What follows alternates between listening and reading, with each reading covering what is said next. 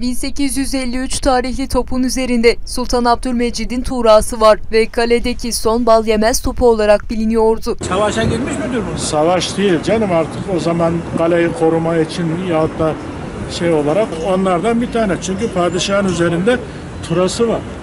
Tamam. Bak tura vurmuş oraya. Amasya'da bulunan 165 yıllık Ramazan topu emekli edildi. Ramazan aylarında iftar ve sahur vakitleriyle bayram günlerinde atış yapılıyordu bal yemez topuyla. Ancak topta artık deformeler oluşmaya başladı. İşlevini de kaybedince sembolik olarak belediyenin önüne getirildi. Amasya'daki Ramazanların geleneksel sembolü olan Ramazan topumuz vardı.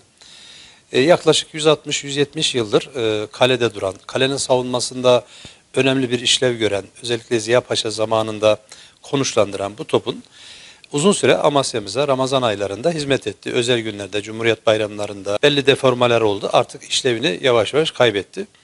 Biz de bunun e, hatırasına bu özel döküm topun e, Amasya olan geçmişiyle beraber müze şeklindeki belediyemizin önüne sembolik olarak koyduk. Böylece Amasya'nın tarihine de bir not düşülmüş oldu. Bu arada günün şartlarına uygun bir şekilde kentte top atma gelenekleri devam edecek.